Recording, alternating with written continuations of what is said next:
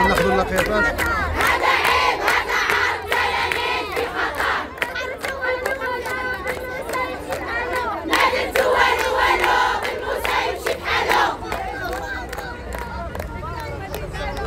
نعم نحن ك...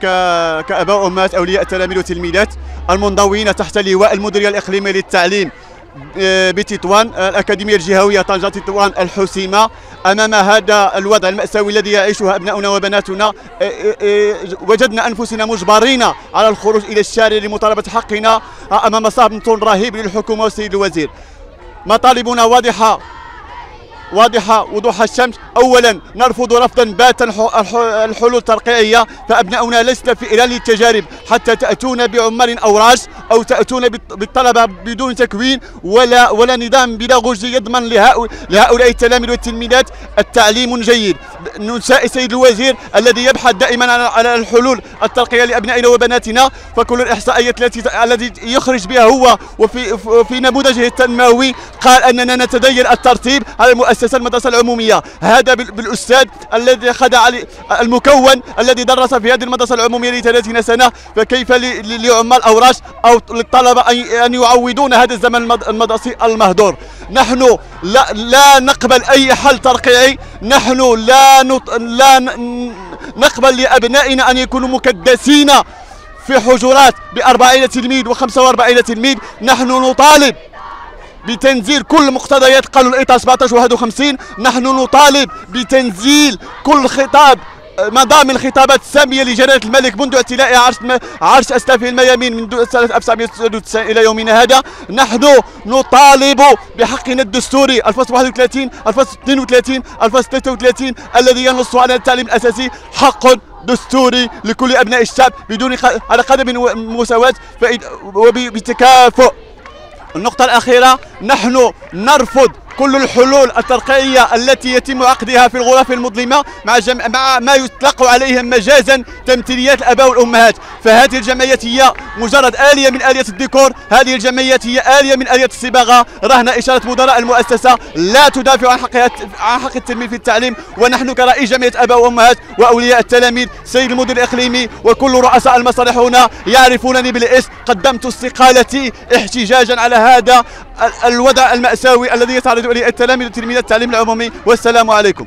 آه، اولا كنشكركم على التواجد ديالكم معنا أمام النيابة. آه، أنا بصفتي أم ونيابة عن جميع الأمهات ديال مدينة تطوان. آه، كنهضر نيابة عليهم كاملين. هذا الوضع اللي وصلنا ليه سيد الوزير حنا ما بغيناش كيف يعقل تلميذ ضايع في الزناقي؟ آه ما كيلتحقش بالدراسه ديالو كيمشيو كيرجعوه هادشي حنا ما قابليناش. حنا بغينا سيد الوزير عملنا حل بغينا سيد الوزير يلتفت لينا حنا كمواطنين. دراوش حنا ما هضرنا لا على غلاء المعيشة لا على بطاطا لا على مطيشة لا على الدجاج اللي ب 22 درهم لا على بحورة اللي فيهم آه، آه، سردين 30 درهم. حنا ما هضرناش على هادشي هدايا. حنا كنهضروا على التلميذ بغينا غير الحق ديال التلميذ. واش هاد الطفل هذا الا همشناه. راه التعليم هو أساس. أي أي مهنة أي مجال مشيتي له خصك تكون واعي. قص كاد المعلم أن يكون رسولا. هذه حنا كنعرفوها. اللي بغينا هو المعلم ينظر لنا بواحد النظرة ديال ديال الرحمة. حنا ما بغيناش التلاميذ يضيعوا يطلعوا خاويين. راه الجيل هذا الجيل هذا تبارك الله واعي وكيعرف وعارف شنو داير وكيسمع. راه سمعنا البارح سمعنا البارح أطفال أقسم بالله العلي العظيم حنا في وقفة وأطفال في عمر 10 سنين كيقولوا كيوجدوا الحرقة. راه كيف يعقل طفل 10 سنين كيفكر في الحرقة؟ طفل 10 سنين انه يمشي يهاجر كي عن طريق بليونش وعن طريق بزاف ديال الأماكن. راه هادشي هذا حنا ما قابليناش.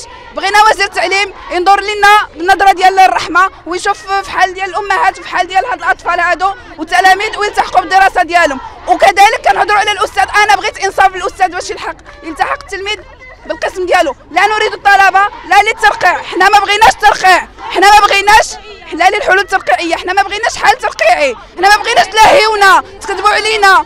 تلهيونا وتعطونا البيبيرون والتشوبا لا حنا بغينا ولادنا يقراو يلتحقوا بالأقسام ديالهم. الطالب بده خصو اللي يكونوا كيف يعقل؟ الأستاذ عنده 30 عام و20 عام ديال الخبرة والكفاءة المهنية ومازال حنا كندعموا ولادنا بالدعم. ونجيبوهم من الدار ندوهم السوايع ونقريوهم. عاد انت غتجيب لي طالب. طالب حنا ماشي ضد الطالب. الله يعاونو الله يسهل عليه. ولكن بغينا آه، الأساتذة يلتحقوا بالأقسام ديالهم. هذا هو المطلب ديالنا. وشكرا